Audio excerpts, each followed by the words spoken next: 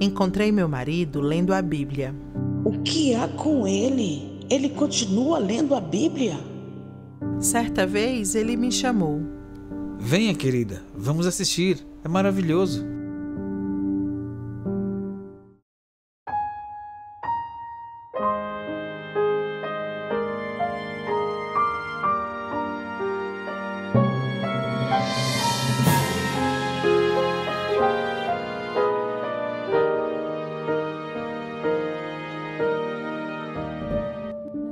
Venho de uma família de católicos devotos.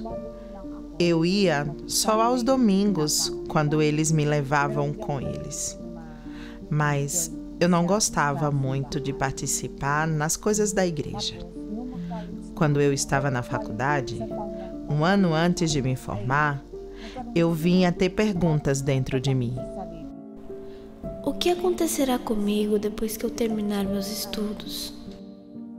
Por fim, me formei na faculdade de odontologia e tirei a minha licença profissional.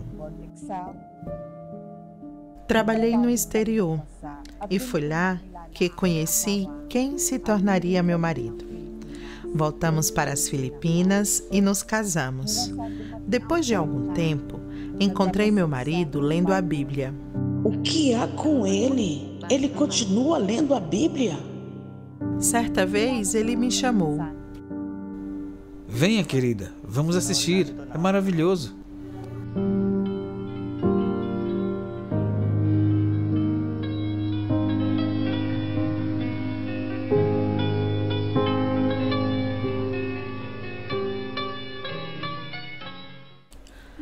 Quando a música de abertura do Caminho Antigo estava tocando, era como se eu estivesse sendo chamada.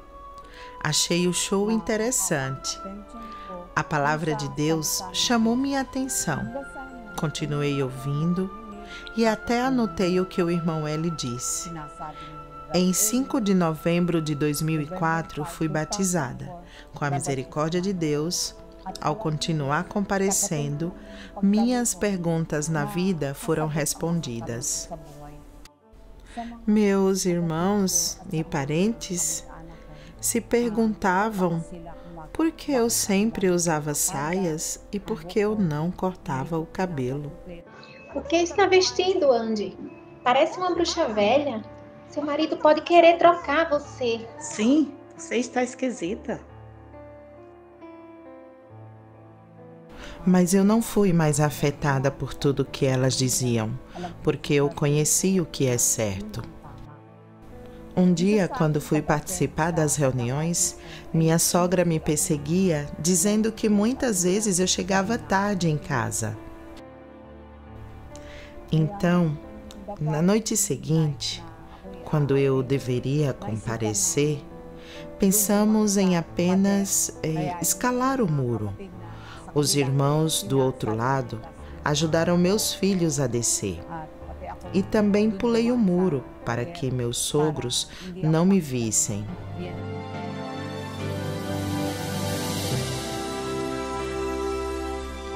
Em 2019, quando acordei uma manhã, fiquei pensando por que não conseguia levantar minha mão direita.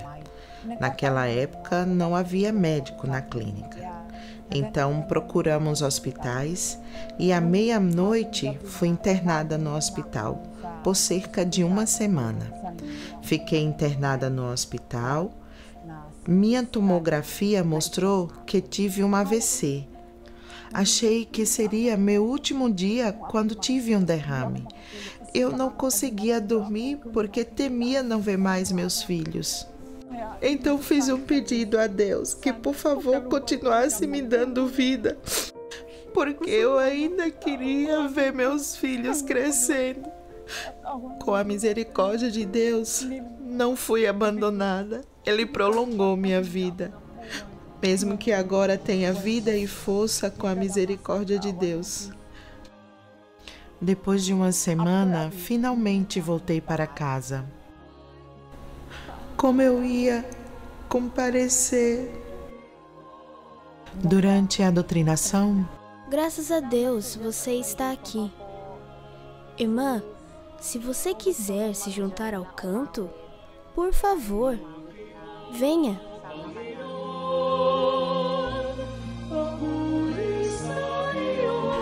Eu me juntei a eles. O tempo todo, segurando minha mão, continuei cantando. Aos poucos, até minha fala melhorou por estar no coral. Com a misericórdia de Deus, continuei cumprindo meu dever. O que posso dizer aos irmãos? Apenas continue cumprindo seus deveres. Com a ajuda e misericórdia de Deus, Ele não nos abandonará. Apenas se apegue às doutrinas. Atualmente, posso continuar com minhas funções como membro do coral e como tesoureira local, e posso participar das atividades como dentista. Agora, toda a minha família e entes queridos são membros da Igreja de Deus Internacional. Agradeço a Deus por estarem comigo no serviço.